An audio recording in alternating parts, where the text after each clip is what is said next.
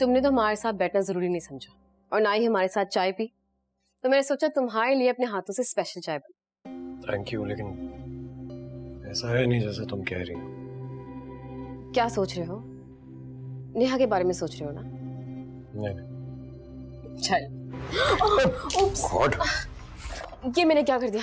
एक सेकंड मैं मैं ठीक कर मैं कर लेता हूँ ना साहब अरे कुछ नहीं होता। सॉरी उमर मेरे सॉरी तुम्हारा भी तो स्कार्फ कर- रिलैक्स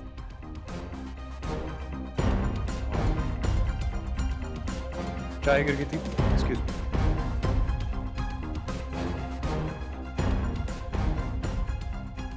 क्या कर रही हो तुम यहाँ पे?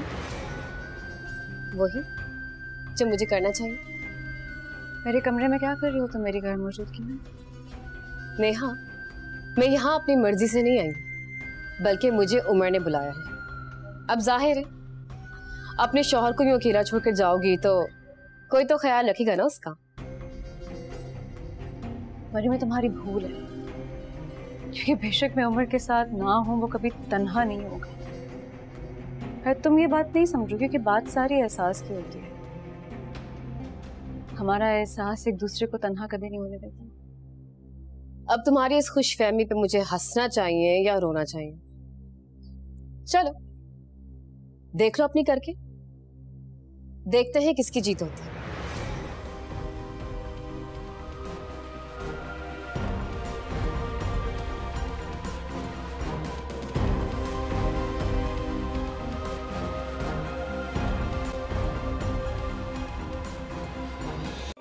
Assalamualaikum everybody, this is Hajra Yamin. Please do like Airby Digital's page on Facebook and subscribe to their YouTube channel as well.